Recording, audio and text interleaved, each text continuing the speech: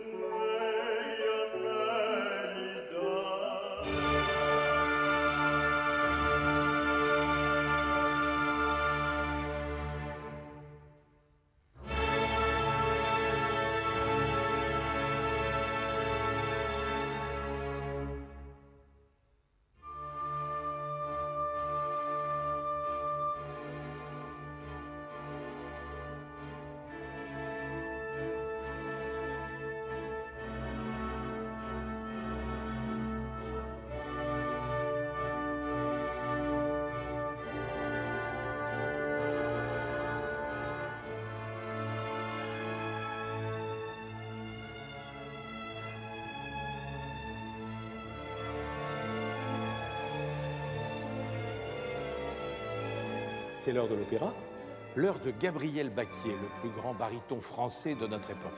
Alors il aurait pu être dessinateur, il aurait pu être employé des chemins de fer, mais un jour il a découvert l'opéra et l'opéra ne l'a plus lâché, parce que l'opéra réunissait le chant qu'il aime et le théâtre dont il a besoin pour s'exprimer. C'est un personnage expansif. Il a cette jovialité méridionale de quelqu'un qui est né à Béziers.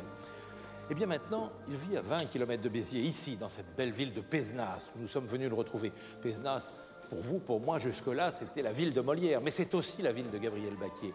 Et c'est là que nous allons essayer de vous dresser un portrait de ce personnage, qui bien sûr a ce rayonnement qu'on connaît, mais qui a aussi des travers secrets. On s'en rend compte quand on le voit chanter avec tout ce raffinement intérieur le personnage de Don Giovanni ou celui du comte des Noces de Figaro, on s'en rend compte en parlant avec lui aussi. Oui, il y a beaucoup à découvrir de Gabriel.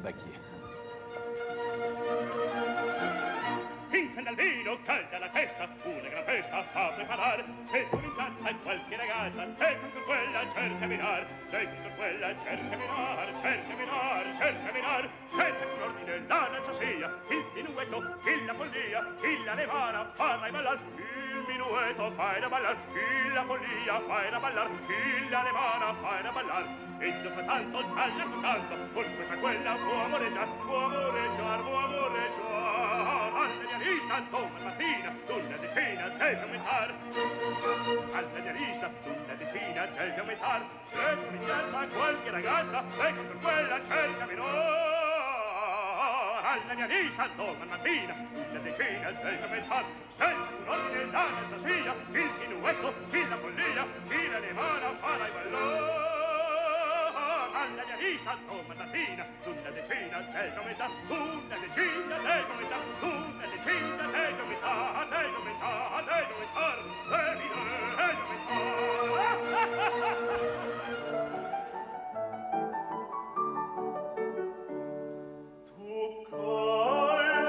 Alors, là, tu dois le penser autrement.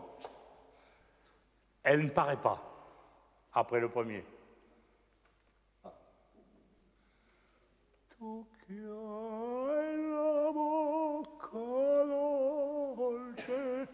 Et tout ça, tu joues.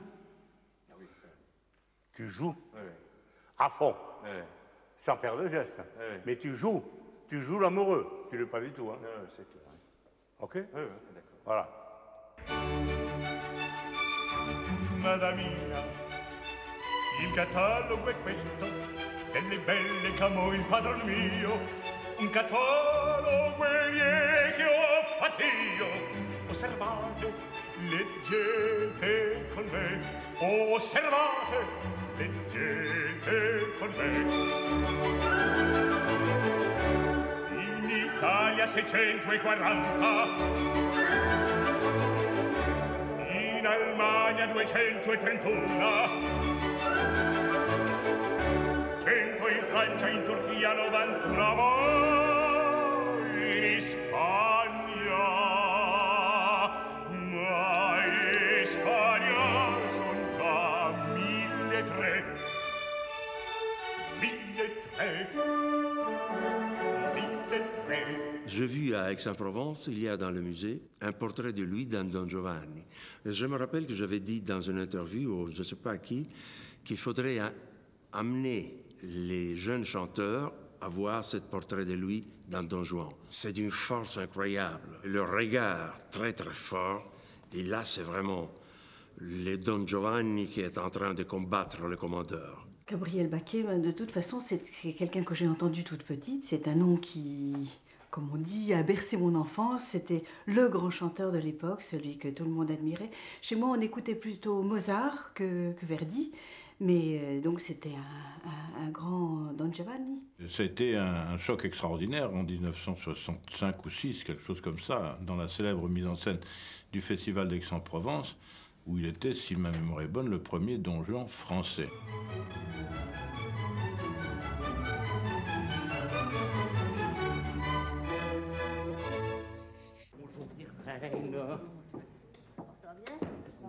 Il faudrait quand même travailler un petit peu dans le genre. Je chantais le Don Juan à, à l'opéra à ce moment-là, mais en français. Donc. Don Juan, pas Don Giovanni. Don Juan.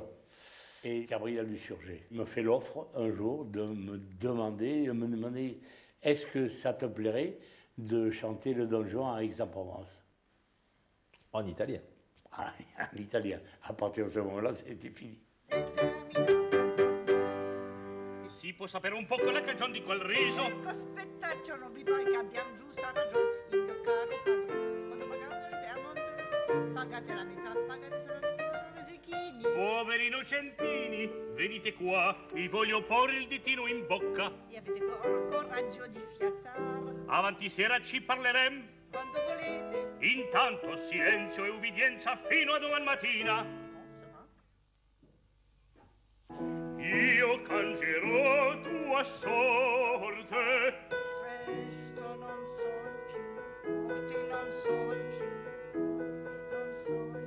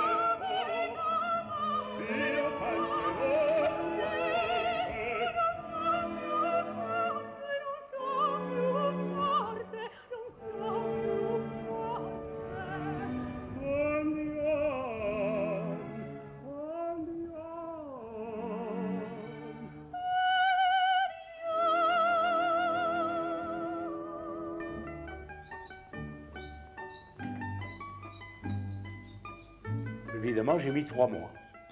Trois mois bien plein, bien remplis. Quand je dis trois mois, ça veut dire tous les jours. hein. Travailler tous les jours, sauf le dimanche. Et, et- il est arrivé ce qui devait arriver. Un Français qui chante Don Giovanni à Aix. C'était la première fois. pas arrivé. Je comprends qu'on l'ait choisi pour faire Don Giovanni, car il avait la voix. Parce qu'à l'époque, on choisissait des voix pour faire Don Juan. Un caractère, une couleur, une émission. C'était cette énergie, cette énergie dans le chant et dans, la présence scénique.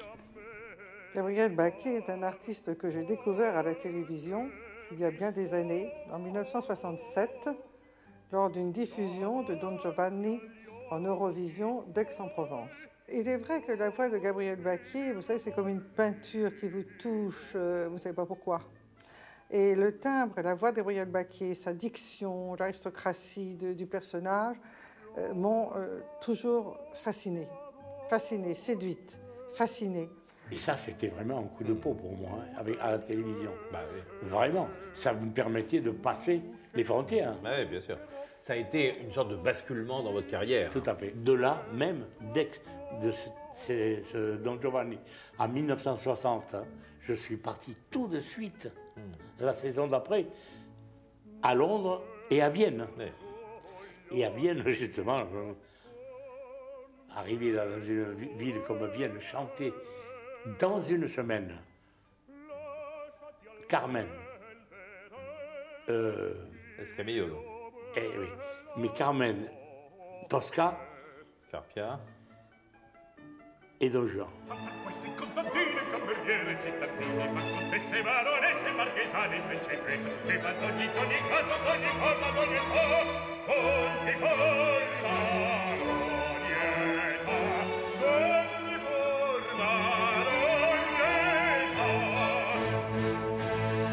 Remonter dans votre vie euh, en commençant bah, à une vingtaine de kilomètres d'ici, à Béziers, où vous êtes né en 1924. Vous avez des souvenirs de l'enfance?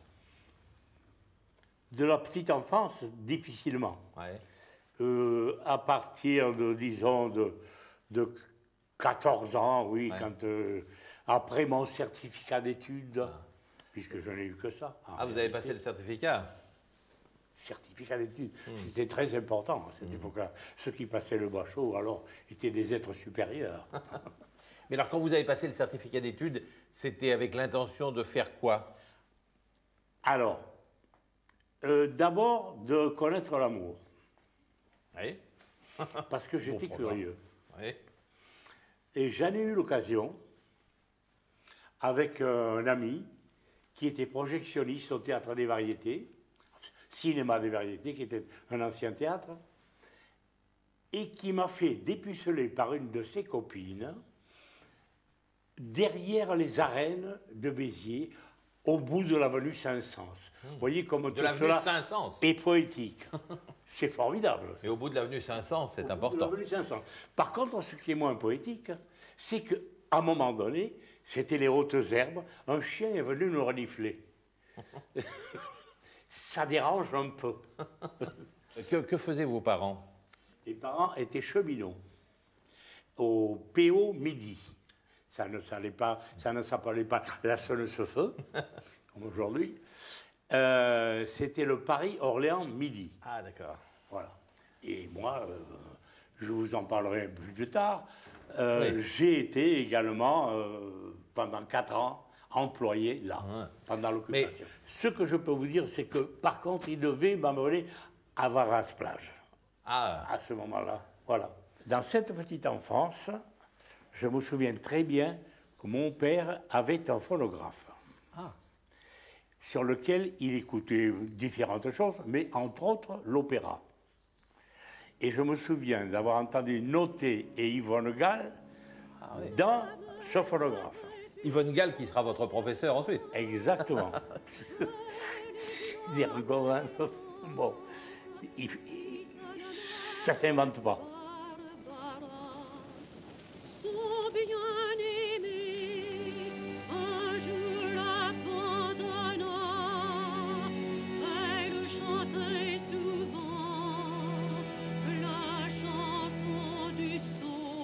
Parce que à, la radio, j'ai eu l'occasion de recevoir beaucoup de, chanteurs de cette génération qui avaient commencé à peu près, ou fait le conservatoire, ou sorti du conservatoire euh, euh, dans les années 40, en pleine guerre. Euh, Il y a eu Liliane Berton, Michel Sénéchal, Baquier, Massard et d'autres comme ça. Ils sont tous à peu près de ce, milieu-là.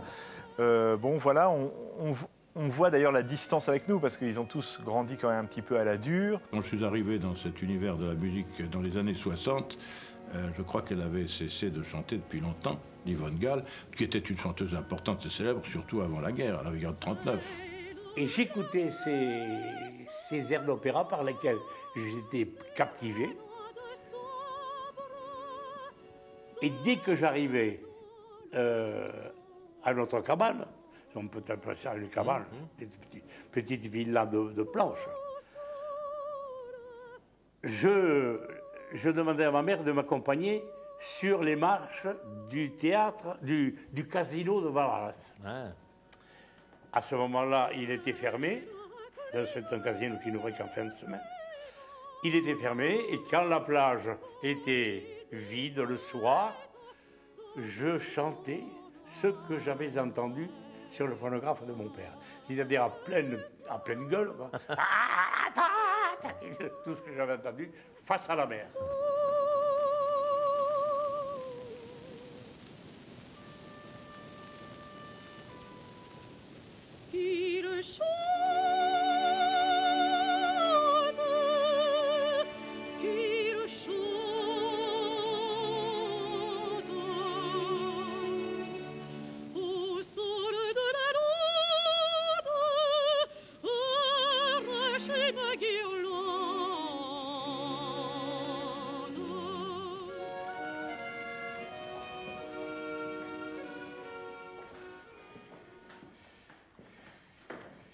Salut les gars.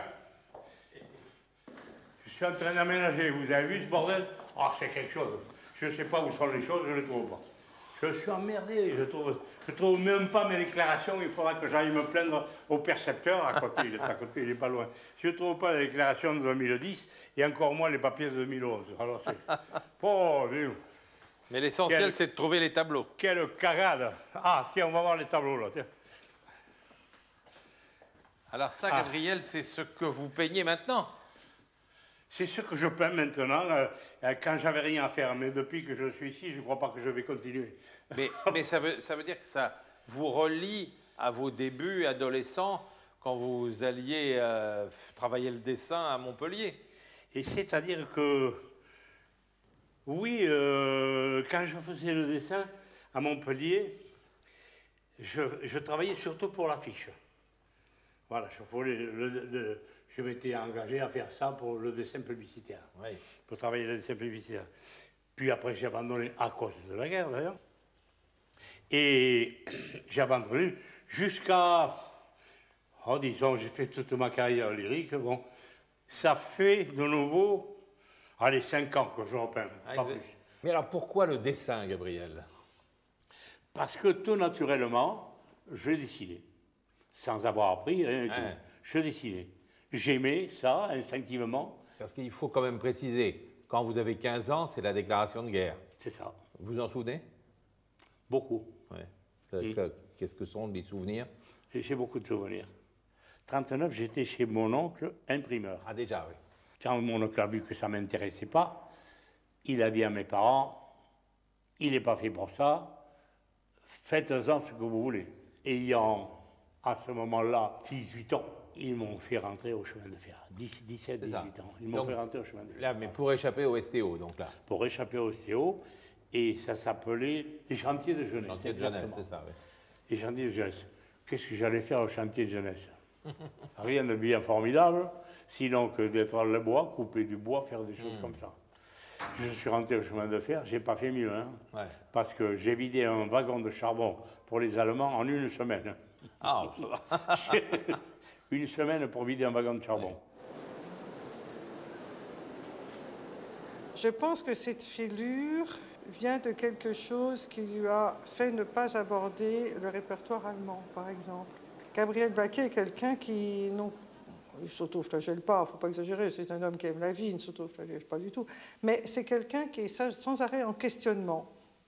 Mais est-ce que son problème n'est pas d'avoir eu 15 ans en 1939 Peut-être y avait-il finalement euh, une espèce de barrière à ce moment-là qui s'était établie? Évidemment, nous étant des produits d'après-guerre, nous n'avons pas connu cela et nous l'avons connu à travers nos parents.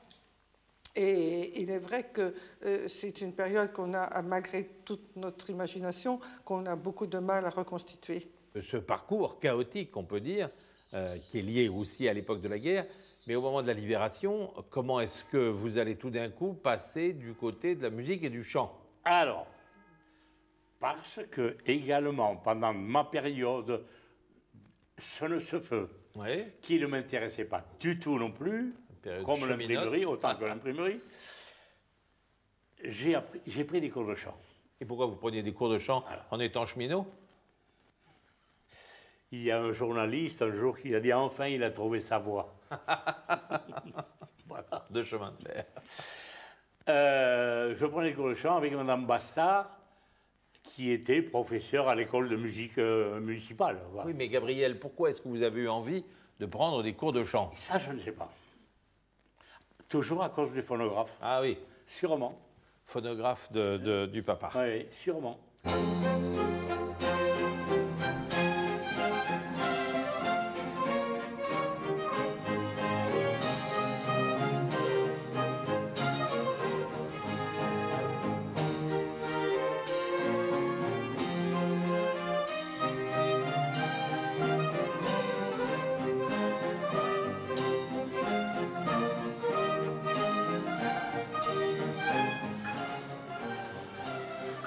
Nous avons les peintres là-haut qui refont le plafond. Magnifique. C'est magnifique. Molière est venu atterrir ici et que ce faisant, euh, le prince de Conti, euh, qui était, n'est-ce pas, dans les parages, euh, a parlé de cette troupe à Louis XIV et c'est à, la suite de ça que Louis XIV les a sortis d'ici pour les faire venir à la cour, s'exécuter et jouer la comédie. J'ai chanté ici en 1943 avec mon professeur de chant de Béziers qui a amené l'équipe, son équipe de l'école municipale de Béziers, ici, chanter, faire une petite soirée, des élèves comme ça, pour, bon, pour nous donner l'appât, c'est-à-dire l'habitude de, de- chanter en public. quoi. J'ai souvenir de cette euh, soirée épatante où nous sommes euh, bien amusés par la suite. Je ne donnerai pas de détails, mais enfin, c'était l'euphorie pour nous. Euh, tu sais, c'est comme quand on partait avec le bus faire les reluisantes, comme disaient les reluisantes d'opérette, et puis que il y avait du mélange dans tout ça, tu vois. Il y avait du mélange dans tout ça. Tout le monde se mélangeait, quoi. C'était un peu. tu comprends les, les filles, les garçons, tout ça.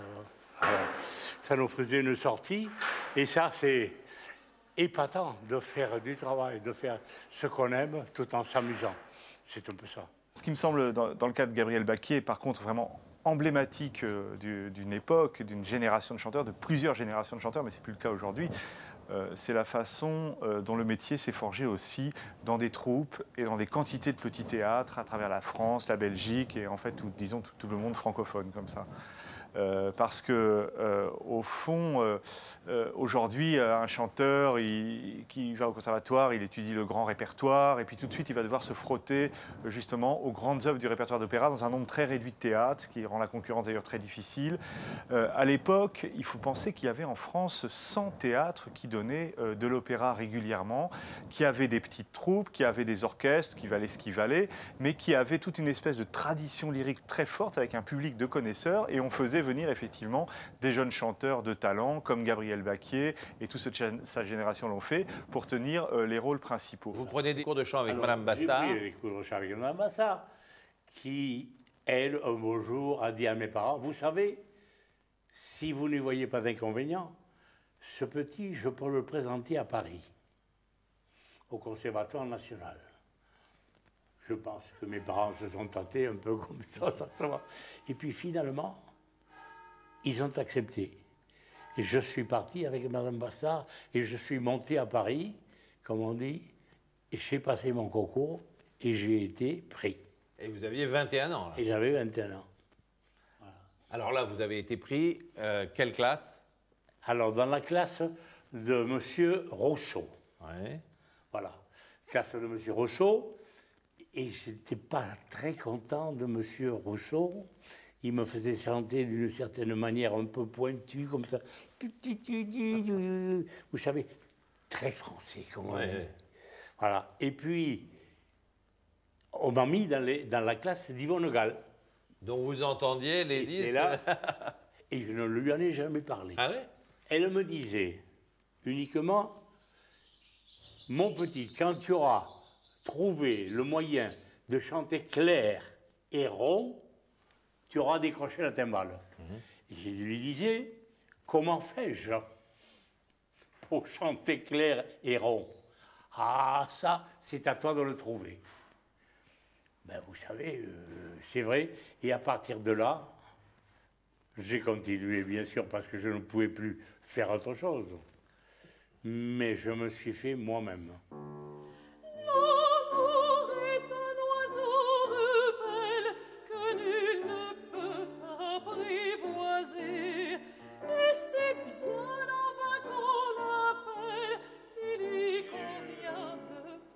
Entendre le le. Pelle.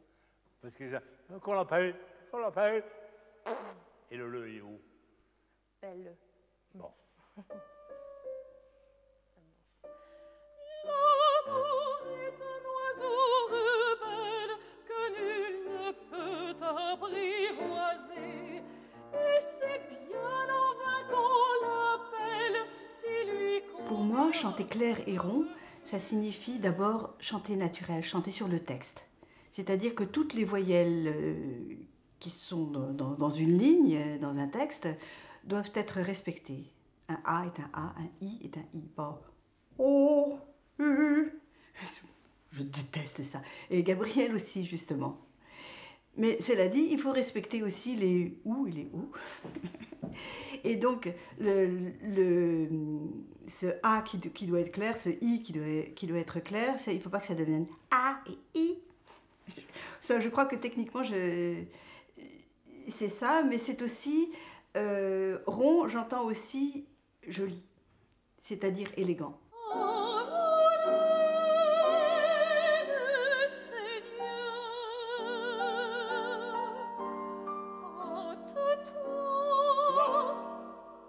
Ne fais pas. Hâte, c'est hâte-toi. Hâte. Hâte-toi, hâte-toi. Non, parce que s'il le fait oh, il y a- ça passe pas. Hâte-toi d'accourir. Mais, mais ne fais pas oh. Le i et le e accent aigu sonnent naturellement à la place que l'on demande. Euh, c'est- une place qui ne bouge pas parce que par la, la formation buccale que l'on doit euh, a- apporter sur cette euh, voyelle, ça se place naturellement. Naturel. Et c'est pour ça, en réalité, que les Italiens chantent naturellement bien. Parce que leur langue est basée sur ces voyelles. Voilà. Alors que la nôtre est basée sur les Voilà. consonnes. Et donc, il faut regarder où on met tout, tout ça. Eux, ils ont des arts aussi. Mais comme ils parlent comme ça, il n'y a qu'à écouter, d'ailleurs, euh, un, un- un napolitain chanter. Qu'est-ce qu'il ne cherche pas Il ne cherche pas midi et 14 heures. C'est un peu exagéré.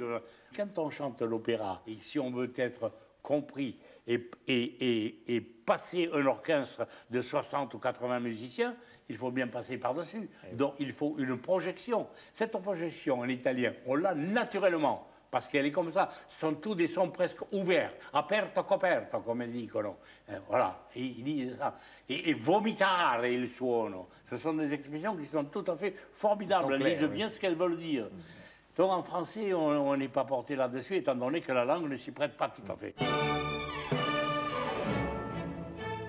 C'est une chance de le connaître, c'est une chance de l'approcher, de l'entendre et de le côtoyer. Moi, je, je trouve que ces, ces élèves, ils ne peuvent pas imaginer, ils, ils- ils connaîtront la chance qu'ils ont eue de l'avoir connu beaucoup plus tard.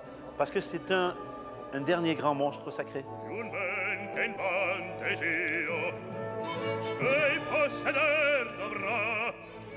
Vedrò per man d'amore unita un vero oggetto e in me restò un affetto che per me poi non ha che per me poi Le chant, c'était, ça répondait à un désir ou vous disiez, bon, faut bien faire quelque chose? Ben, C'est-à-dire, ça euh, répondait sûrement à un désir de ma part, alors que les professeurs, eux, disaient Oui, il a une jolie voix, mais enfin, il ne fera pas grand-chose, quoi. euh, voilà.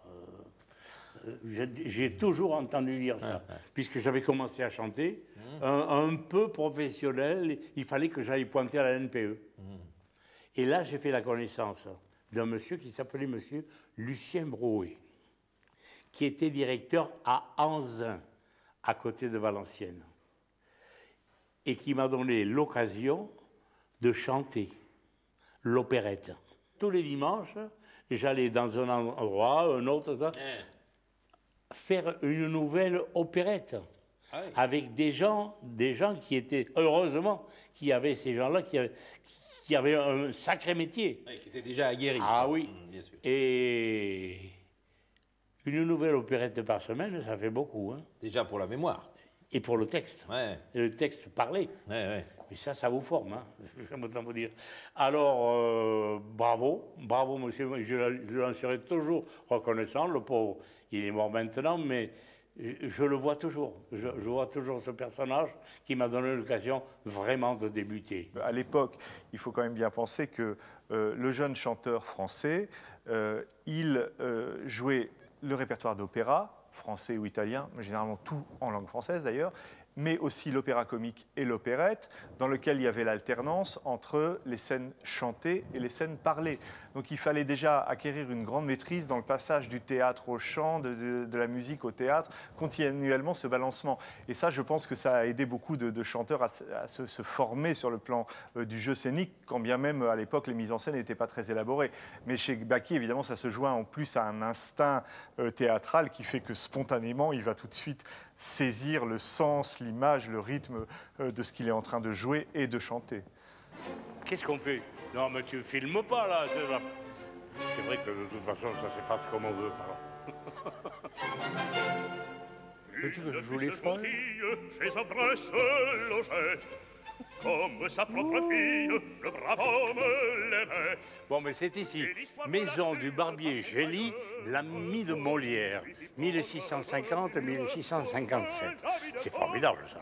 Et notre ami qui est là, hein, Bobby Lapointe, évidemment, qui a fait des beaux jours euh, de beaucoup de, de beaucoup de- et ici en particulier, on je l'a honoré dans tous les coins. Il a sa salle, il a tout ça, il a sa rue, il a tout ça. Magnifique. On ne pouvait pas faire autrement, en un seul mot, d'habiter ici pour monter ce que nous désirons monter, c'est-à-dire un esprit de troupe et de compagnie. Voilà. Autour de Molière, d'ailleurs. Alors là, mes enfants, je suis arrivé chez moi. Mais ce qui fut bien pire, c'est que les gens de cour, sans en oser rien dire, se grattaient tout le jour. Vous venez mes poulets. Je vous fais pas monter. Ça a été filmé dans tous les sens, déjà, ici. Je vous amène jusque-là. Voilà. En somme, qui est la place centrale.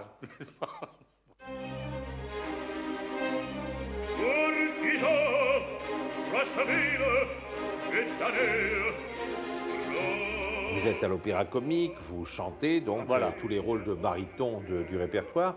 Euh, comment est-ce que vous allez rentrer ensuite à l'opéra? Alors là, il y a des occasions comme ça. C'est toujours l'occasion qui fait le larron.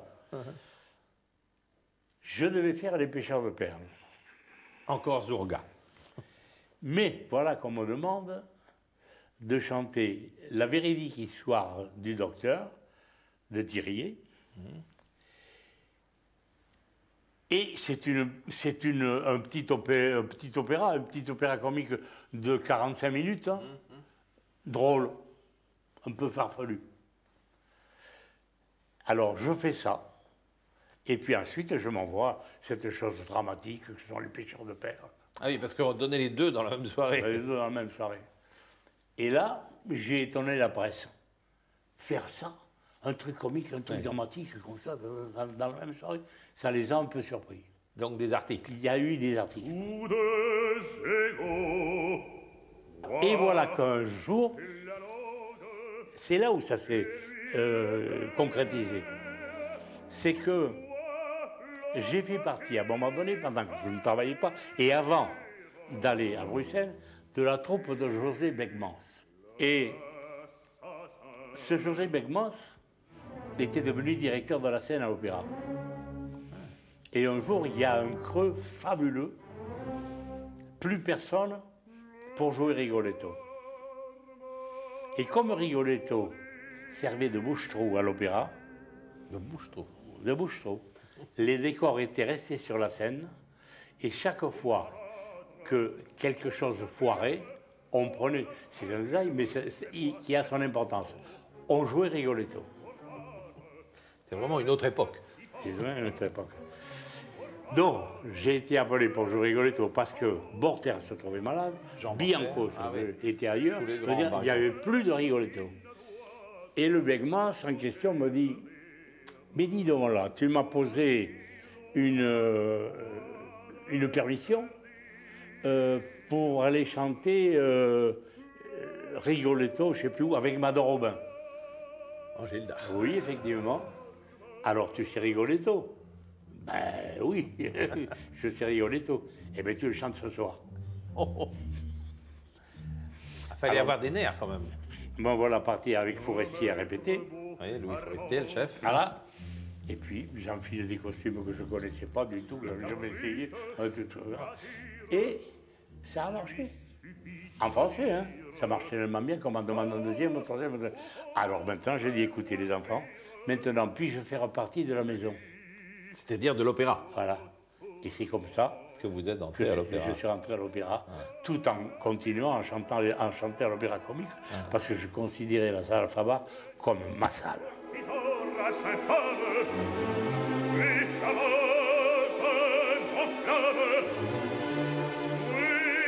Pense où il est vraiment très proche de lui-même, c'est Almaviva, des Noces de Figaro, j'entends, le conte des Noces de Figaro.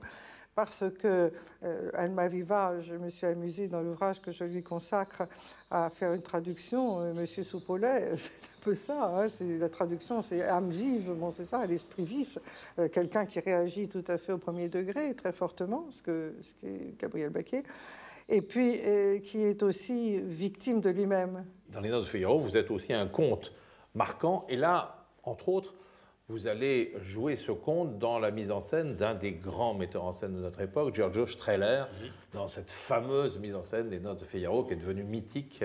Il me disait, tu vois, toi, tu n'as jamais fait ça, mais je sens que tu es capable de le faire. Tu vas rentrer dans la chambre avec ta gibecière pleine et le fusil à la main, dans la chambre de la comtesse. Et tu vas fouiller partout comme ça, comme ridicule. Ridicule. Il paraît ridicule. Ouais, comme bien ça. sûr. Mais c'est dramatique. Quand il va pour ouvrir la, la porte, le petit cabinet, caché, soi-disant chérubin, la porte, il s'amène avec le marteau comme ça. Voilà. Et, et la pince, monseigneur. Comme ça. tutto è come lasciai. Ce sont des choses, des petites choses qui paraissent petites, mais qui, euh, bien faites, vous transportent parce, parce que on ne peut voir ça qu'au cinéma, en gros plan. Et c'est l'art de la mise en scène, ça. Voilà. C'est l'art de la mise en scène, ça.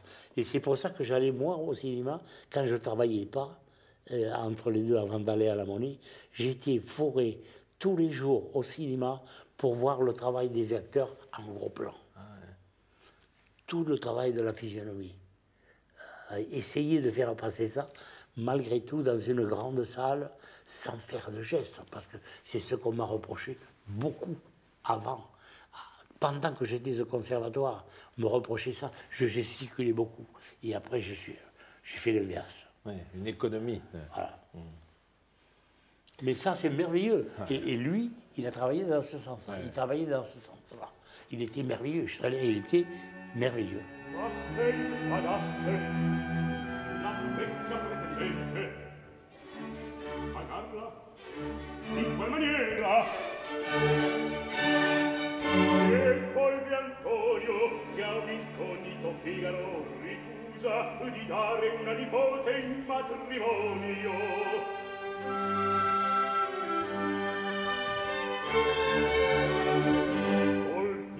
L'orgoglio. J'ai dû voir une dizaine de fois ces fameuses Noces de Figaro mises en scène par Giorgio Strehla. Et je me rappelle toujours de cette, entrée de Gabriel Bacchier, Susanna, tu mi sembri agitata e confusa, dans, le furtif. Alors là, il ne faisait plus dans le violent, mais dans le furtif. Il y excellait. Il était vêtu en plus d'une robe de chambre qui accompagnait ces, ces mots comme ça de séduction auprès de, auprès de Suzanne. Et puis je l'ai revu, bien sûr, dans, dans, dans et dans, tous ces spectacles de ces années-là.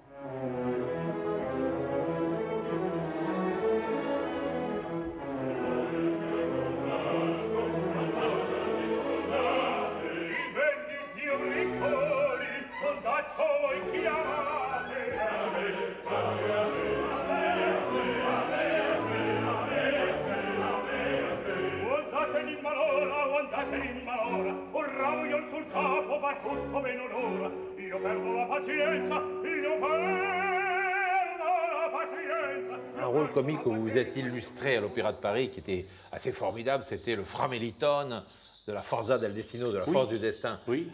ce personnage, vous lui donniez une épaisseur, une truculence formidable au moment où vous serviez la soupe aux pauvres. Oui, mais dans une sincérité formidable. parce qu'il se fout en pétard sans arrêt. Il, en- il engueule tout le monde. Et voilà, il est là. Et parce qu'il il, il- il trouve que tout ça, ça marche pas bien, que c'est une, une jeunesse perdue, que c'est, euh, ce sont des gens qui ne méritent pas ce qu'on leur donne, et ainsi de suite. Mais, mais avec vérité, avec force et vérité. Et c'est pour ça que il rouspète auprès du père. Et je suis là, et comme ça, je suis là comme ça. Il cache sa voix de leur donner la tenez, prenez tout ça, foutez tout.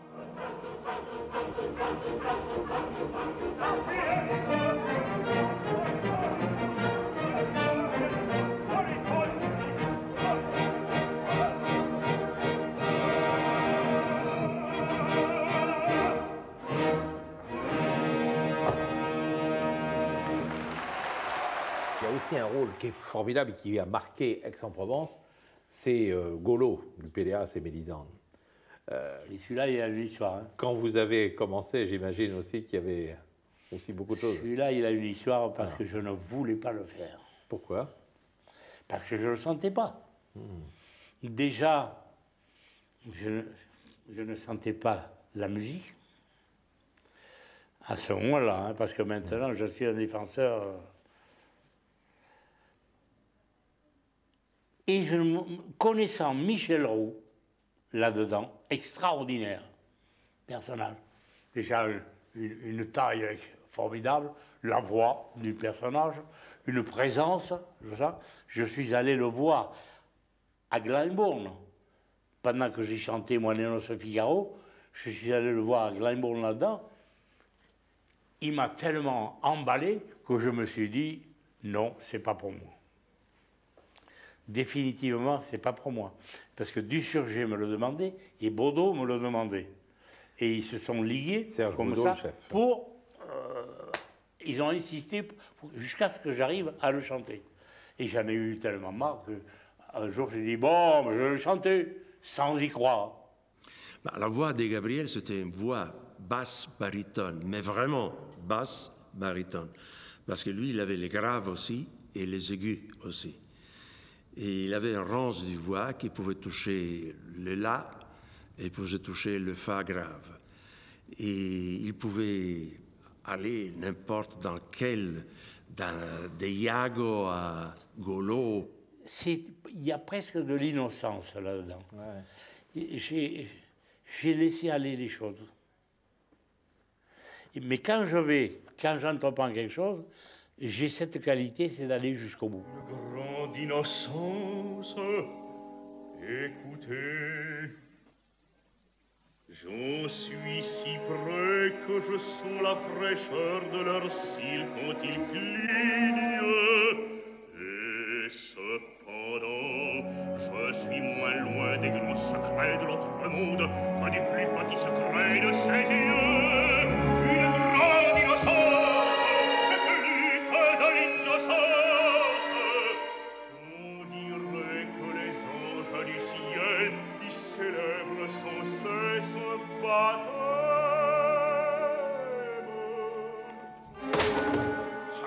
Les yeux, je les ai vus à l'œuvre. Fermez-les, fermez-les, je vais les fermer pour longtemps. Quand je sortais de scène, j'étais lessivé. Il fallait que j'éclate tout de suite pour raconter la dernière des couillonnades, comme, on dit. Vraiment. Parce que j'avais besoin de pouf De sortir des Il y avait une telle concentration, euh, retenue, pour, pour être là, pour être, essayer d'être vrai. C'est tellement sensible, ça vous pénètre, c'est tellement. euh, ça vous torture, c'est incroyable, incroyable de sensibilité. cette musique. La légèreté, la fantaisie, euh, la paillardise demandent autant de métiers et autant de talent euh, que, que le, le lamento et le tragique. Peut-être que ça se voit moins, mais justement, c'est ça tout l'art. Et chez lui, effectivement, il arrive à un naturel absolu.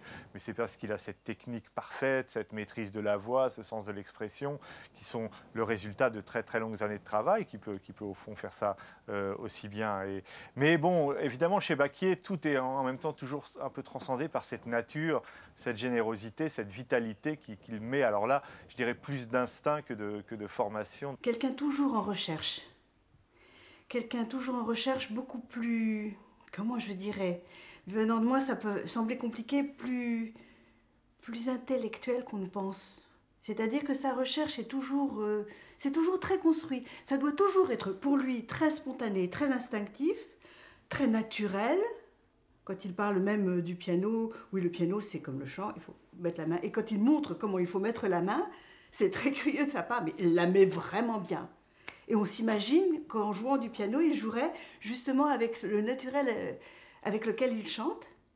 Et, mais en fait, cet instinct derrière est très construit et très en recherche. Je le fais, je le fais instinctivement. je sais que je dois passer par un travail de.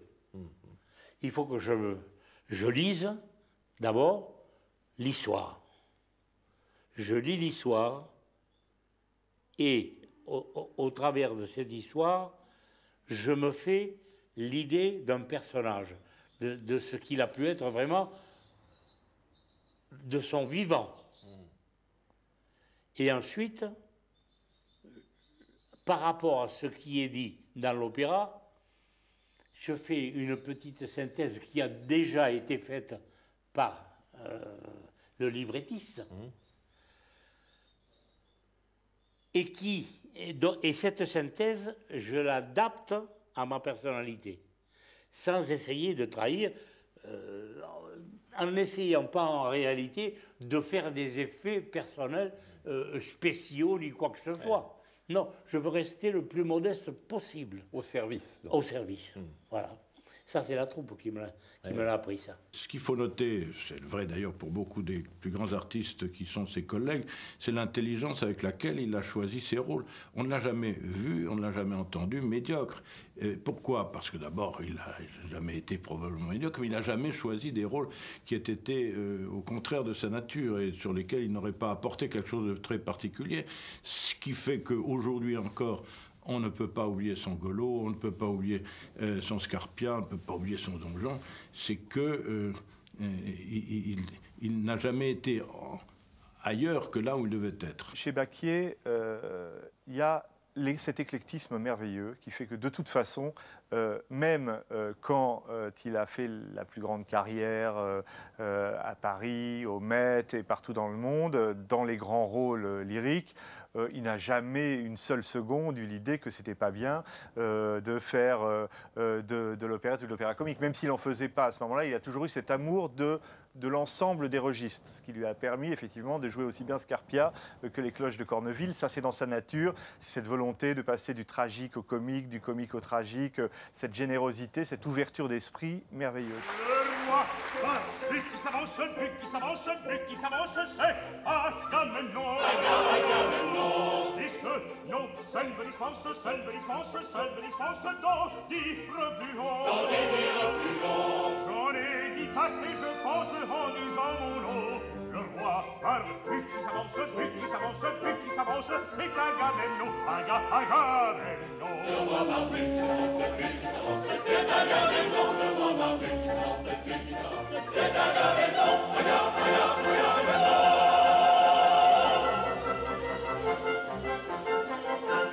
Mais vous avez quand même tenu régulièrement à revenir à l'opérette, parfois dans des conditions assez amusantes. Je me souviens d'un Agamemnon de la Belle Hélène euh, avec Jacques Martin. Vous vous souvenez de cette aventure? Oui, bien sûr.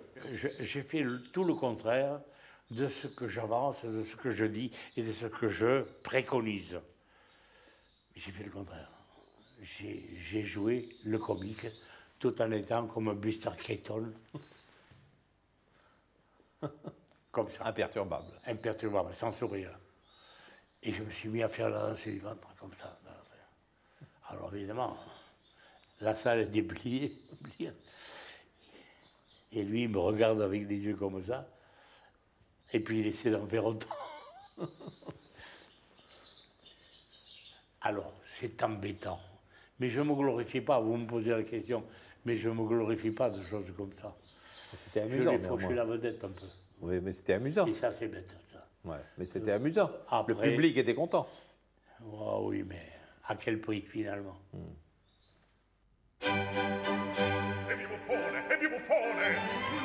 secca Un autre personnage que vous avez côtoyé aussi, qui d'une certaine manière vous a succédé, c'est Ruggero Raimondi. Vous l'aimez bien? Ah, j'aime beaucoup. Je l'aime beaucoup parce que c'est un, un type formidable, humainement parlant. Quand il s'est mis à chanter un genre, j'ai chanté le Borello. Avoir comme Leporello Bacquier, c'est un cadeau.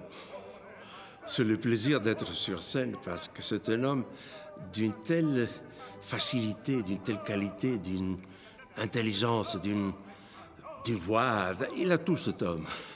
C'est très amusant d'ailleurs de devenir le, le valet quand on a été le maître. C'est- C'est bien, puisque le valet ne peut pas devenir ce qu'est le maître en réalité, parce qu'il ne sera jamais donjon. C'est euh, un type qui lui-même a un drame profond qui se joue chez lui.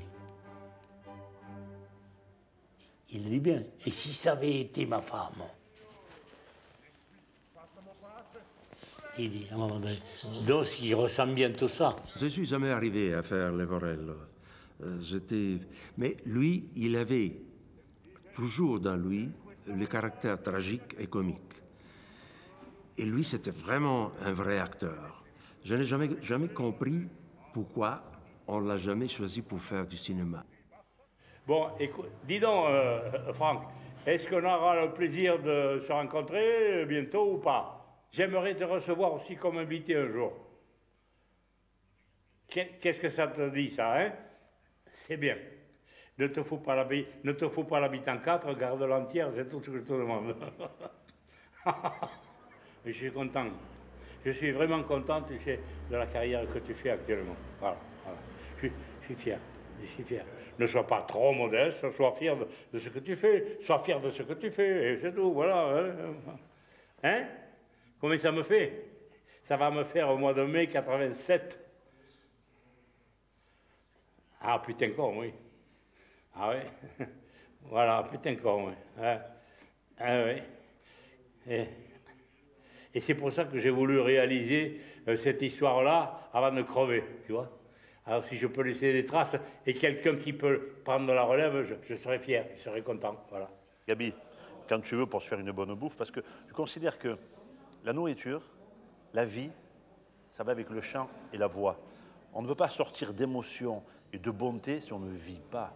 Comment voulez-vous vivre sur scène et à la ville sans qu'il y ait d'osmose?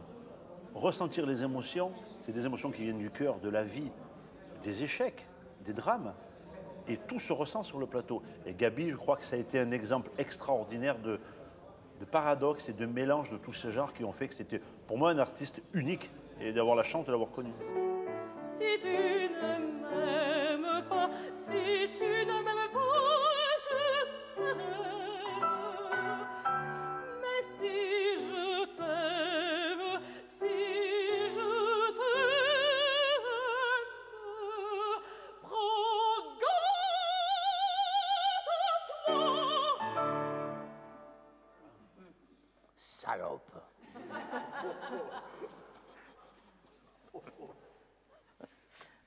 Étiez dans votre grande phase de séduction féminine, comment est-ce que vous séduisiez les femmes? Je ne sais pas, j'ai pas de méthode. Au baratin?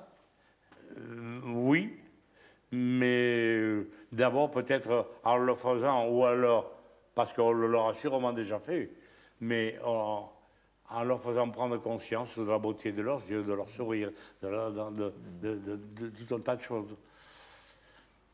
D'abord, ça me plaît, déjà. Si elle répond, ça m'embête parce que j'en tombe. Ces donjons sont finalement des angoissés. Je pense qu'ils ont ce sens de la passion qui va jusqu'au bout, jusqu'au jour où euh, cette quête peut peut-être être euh, arriver à son terme parce qu'on on trouve enfin ce qu'on a cherché.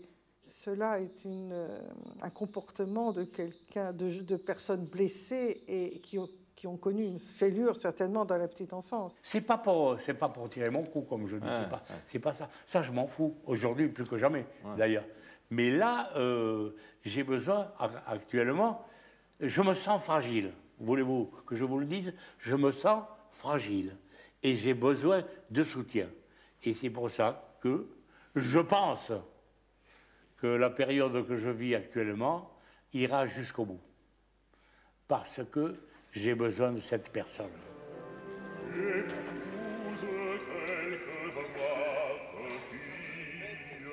Il est charmant, il est prévenant. Et c'est un homme euh, très. Alors, hormis les petits passages sous Paulette dont nous parlions tout à l'heure, bon, je sais pas très grave, une fois qu'on en a pris l'habitude, c'est un homme extrêmement prévenant et d'une immense courtoisie. Malgré la verdeur de vocabulaire qu'on lui connaît, c'est un homme de- qui, res- qui respecte beaucoup l'autre. C'est un homme très agréable, très facile à vivre. De quoi vous êtes euh, le moins fier de vous? Oh, de beaucoup de choses. Et par exemple? Bah, euh, je fais trop le con. Pour cacher quoi? Une certaine timidité que j'ai toujours eue, d'ailleurs. En tout cas, quand j'étais jeune, euh, les voisins les plus proches et ceux que je côtoyais journellement, je passais sur le trottoir d'en face pour ne pas leur dire bonjour. Pourquoi? Je ne sais pas. Je pensais que c'était par timidité que je faisais ça. Ça n'est pas par gloriole ou quoi que ce soit ou, supériorité. Disons que c'est presque maladif. Je suis timide et je me suis créé une façade avec le théâtre qui fait que je, cro- on pense que je suis un baratineur. Et euh, je suis un baratineur, effectivement. Mais un- tout ça est un peu provoqué. Euh, Jouer. Prépa hein? Jouer. Ben, disons que je joue à la ville comme je joue à la scène. Et est-ce que vous êtes un angoissé? Oui. Et je le deviens de plus en plus. Je crois que c'est l'âge qui veut ça. Alors, pour éviter ça, pour éviter cette angoisse, j'essaie de rester en contact euh, journellement avec la mort. Comment ça? Ben, je lui parle. J'y pense. Je l'aborde. Je la côtoie selon les circonstances de la journée. Je m'en fais, euh, si je peux dire, une copine.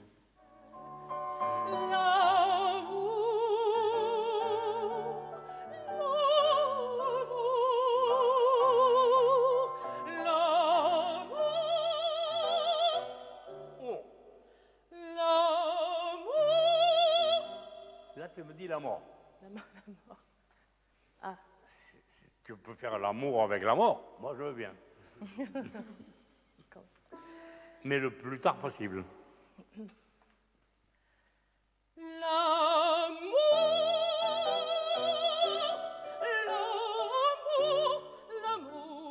Voilà, c'est ainsi que nous quittons Gabriel Baquier, Gabi, comme l'appellent ses amis, dont vous êtes maintenant.